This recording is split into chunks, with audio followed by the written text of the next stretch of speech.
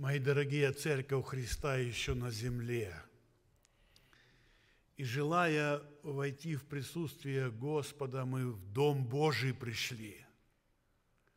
Я верю, что у нас у всех есть желание, что Бог еще скажет сегодня в этот вечер. Вы знаете, когда я посещаю церкви и, и желаю услышать голос Божий, и Бог говорит, я это слышу. Когда Бог говорит ко мне, я это слышу, то это праздник. Я, как и вы, хочу, чтобы сегодня вечером был праздник, чтобы Бог проговорил, и мы это услышали вот как-то войти в такую тишину, чтобы услышать, что сегодня хочет сказать Господь. Несколько строчек из письма э, Пергамской церкви. Я хочу прочитать последняя книга Библии, книга Откровения, говорящая о грядущих на землю событиях, начинается с с писем к церквам. И вот, в частности, письмо Пергамской церкви, вторая глава, я читаю с 12 стиха. «И ангелу Пергамской церкви напиши, так говорит имеющий острый с обоих сторон меч, знаю твои дела. Знаю твои дела, и что ты живешь там, где престол сатаны, и что содержишь имя мое, и не отрекся от веры моей, даже в те дни, в которые у вас, где живет сатана, умершлен верный свидетель мой Антипа. Но имею немного против тебя, потому что у тебя есть там держащее учение Валаама, который научил Валааков ввести в соблазн сынов Израилевых, чтобы они ели идоложертвенное и любодействовали. 17 стих. «Имеющий ухо слышать, да слышит, что Дух говорит церквам». История говорит, город Пергам был построен на высоком холме.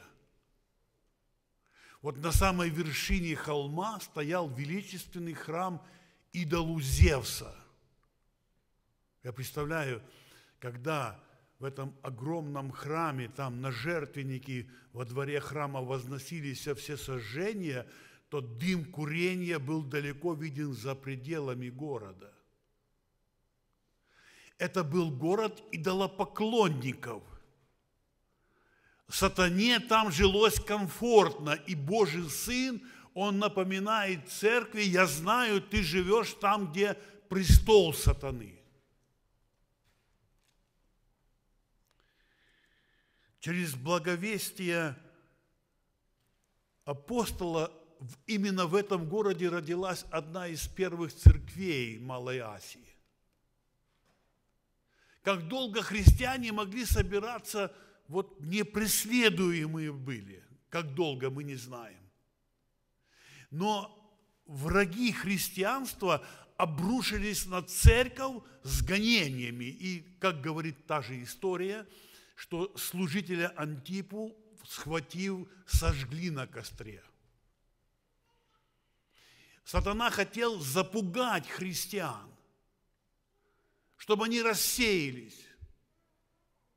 В то время, когда Иоанн писал эти строки э, церкви, то э, Петра уже распяли. Марка сожгли на костре. Иакова обезглавили, и Павла тоже обезглавили. Путь христианства был залит кровью. Почему-то допустил Бог. Первые христиане, они сгорали, их сжигали на кострах, бросали на сиденье диким зверям. Такой был путь наших братьев и сестер – Но христианство, оно крепла и умножалась. Слышите? Во время страданий, мук, гонений христианство крепло и умножалось. Так история церкви говорит. К пергамской церкви сатана изменит тактику. Он подойдет лжеучением. Он церковь захотел разрушить лжеучением о вседозволенности. Вы знаете, некоторым членам церкви понравилось вот это учение, что, ну, в общем-то, благодать покрывает все, и можно грешить, в общем-то, жить без ограничений. Ну, другими словами, можно брать отпуск от соблюдений заповедей Господних. И это учение начало поражать церковь которая вынесла гонение, которая вынесла страдания. И вдруг пришла, пришло такое время, когда благодать начала служить этим душам, этим членам церкви поводом к распутству.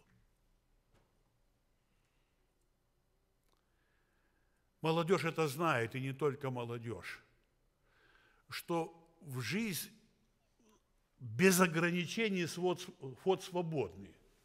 Вы сейчас согласитесь со мною, можно делать то, что хочешь, то, что желаешь. Знаете, как э, кто-то сказал на молодежной конференции, э, ну, в общем, жизнь сравнил с магазином самообслуживания. Заходи, никто тебе не скажет, что тебе нельзя заходить в магазин. Свободно заходи.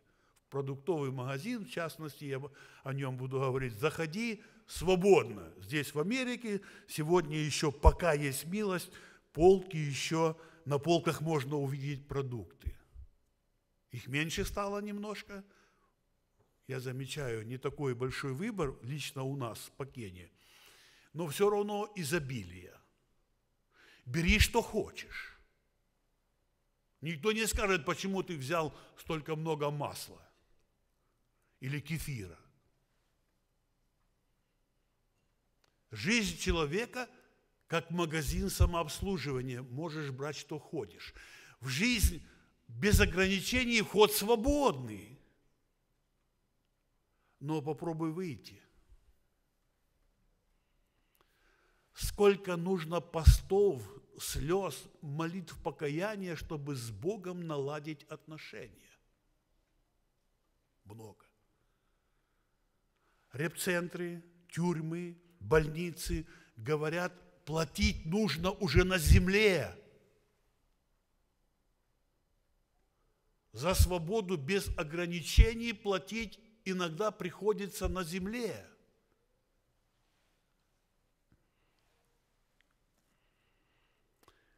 Начинается все с небольшого. Ну, например, их много примеров, и вы со мной будете согласны, я думаю – семья христиан смотрит экран, фильм смотрит какой-то. И вдруг на экране картина пошлости. Знаете это, родители говорят деткам маленьким, глазки закройте, вам это смотреть еще рано. Но так же. А глаза деток открываются – мы сначала подарим экран мальчишке или девчонке, а потом не можем забрать, и уже не заберете. Вход свободный. Попробуйте выйти.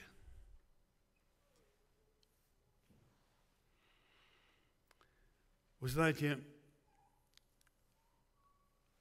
Божий Сын напоминает церкви историю из далекого прошлого.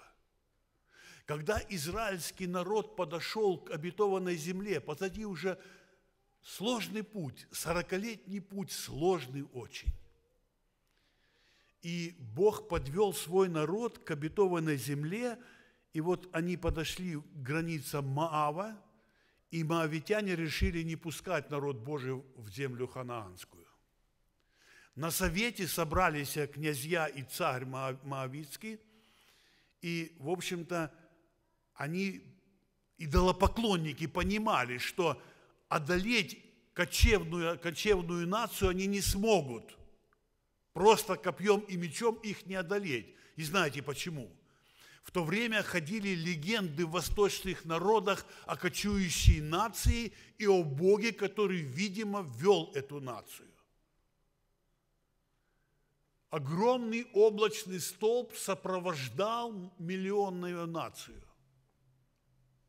А потом он еще, знаете, загорался ночью, освещая стан. И вот когда к моавитским границам подошел израильский народ, они решали на своем совете, как отделить столб от стана, как разрушить ограду Божью. И был дан совет. Есть необычный человек, пророк Валаам. Вот его нужно пригласить, они в это верили, что проклятие может ну, э, разрушить эту ограду Божью. Пригласить Валаама, и он проклянет народ, и Бог уйдет от народа. Они в это верили. И большую награду, ну, в общем-то, предложили Валааму, это таинственный пророк, который имел власть слова. Так сказал царь Моавицкий, мы знаем, кого ты проклинаешь, тот проклят, и кого благословляешь, тот благословен. Я, вообще этот загадочный пророк, таинственный для меня, тоже загадка. Не со всеми Бог напрямую говорил, даже с израильскими пророками. С Валаамом он говорил напрямую – И вот когда я сокращаю эту историю, вы хорошо знаете, когда Валам собрался, чтобы идти проклясть народ, то ангел в пути, когда он шел, предупредил его. Вы знаете это. Он сказал, говори только то, что тебе скажет Господь. Валак Моавитский царь встретит Валаама с упреками. Почему я должен был тебя так долго ждать? Почему я должен был дважды за тобой посылать князей? Ты думаешь, что я не в состоянии тебя наградить богато очень? Ну, жалкими были ответы пророка Валаама. Он попросил, чтобы на горах я не помню сейчас, по-моему, трижды он ставил жертвенники, ему моавитяне ставили жертвенники на разных, в разных местах, на вершинах гор ставили жертвенники, и он приносил на этих жертвенников животных, и, знаете, он, я эту представляю картину, всегда нас захватывает. На горе высокой стоит, стоит пророк, дым курений от жертв, от жертв сжигаемых – и он смотрит в долину, а в долине стоит миллионный стан. И над этим станом стоит облако облачное. Бог стоял в долине, видимо. И вот, обращаясь к Богу, пророк уговаривал, как он хотел получить богатство, он хотел стать очень богатым. Библия открывает, он прилепился, ему, он возлюбил эту славу и это богатство. И он так уговаривал Бога, что он разрешил ему получить эту награду.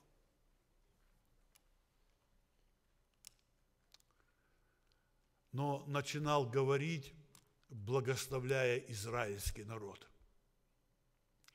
Я думаю, сначала Валак царь Моавицкий ну, не понимал этих странных слов, о чем говорит пророк. Там почитайте пророчества, они их сложно очень понять, эти пророчества об Израиле. Но немного то, что понятно, он говорил, не видно бедствия в Израиле, как лев поднимается народ и не ляжет, пока не съест своей добычи.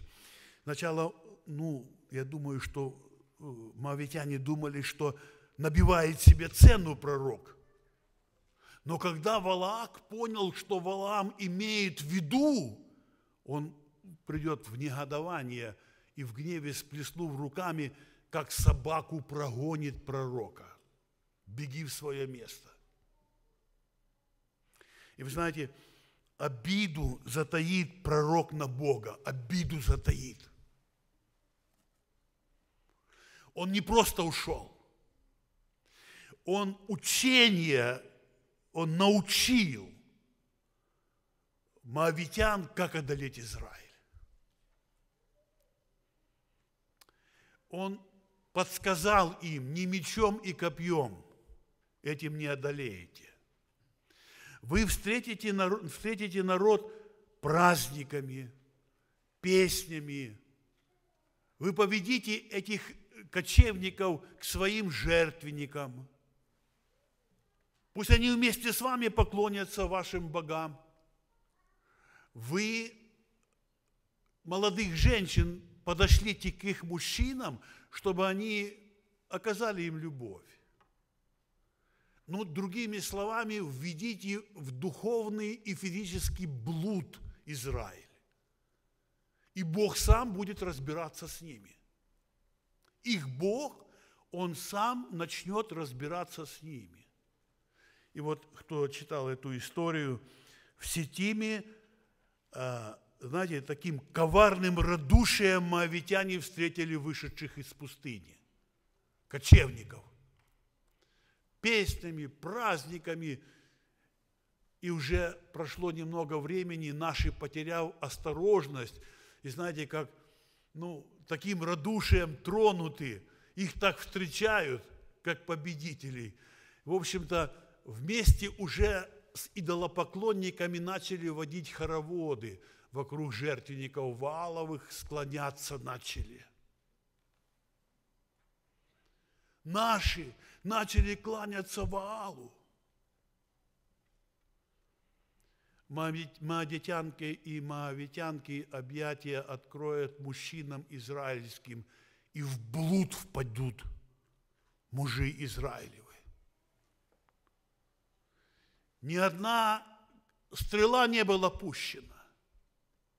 Ни одно копье не было брошено, ни одна капля крови не упала еще на землю, а падать стали мужи Израилевы духовно.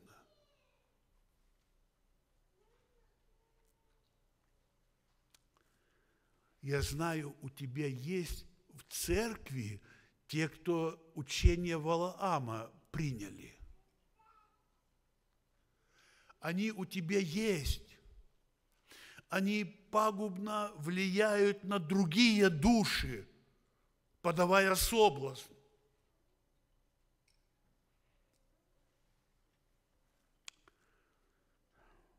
Я сегодня представил картину, вот буквально минут 15-20 назад перед проповедью по морю идет огромный корабль, рыбу ловит – сзади за кораблем бесшумно и незаметно тянется сеть.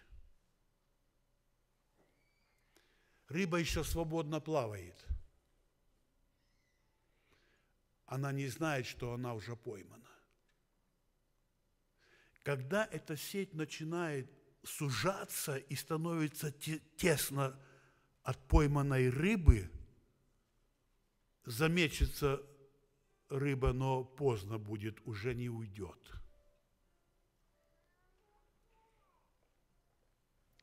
В сетях интернета попали многие очень.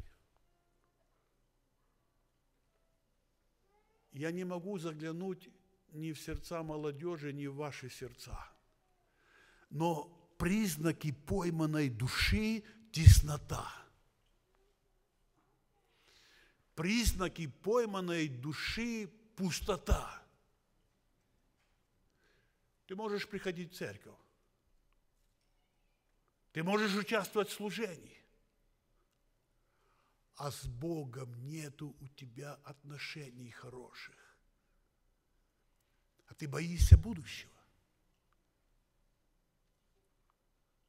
А ты боишься неизвестности.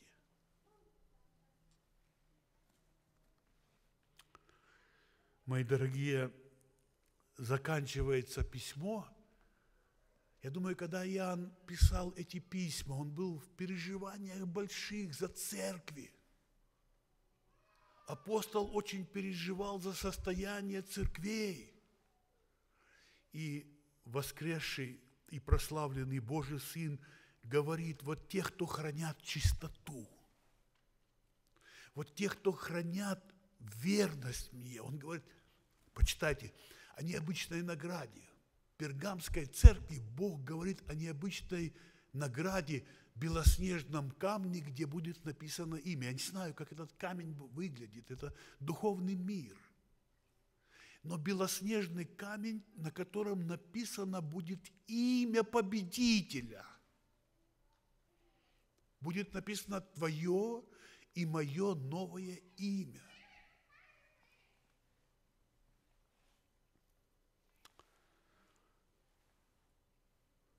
Если сегодня есть желающие помолиться и сказать, Господи, у меня теснота и пустота, и мне нужна свобода. Я хочу иметь уверенность в спасении. Я хочу иметь радость спасения. Я с вами хочу помолиться сегодня. У меня есть желание с вами помолиться. Если такие есть души, и вы хотите помолиться, вы можете выйти вперед, чтобы мне легче было с вами помолиться. Давайте мы закончим э, ну, эту первую нашу часть молитвой и скажем, Господи, благодарим Тебя за Твое Слово. Благодарим Тебя за Твои обетования. Благодарим Тебя, что, заботясь о церкви, Ты хранишь нас от осквернения. Аминь. Помолимся Господу.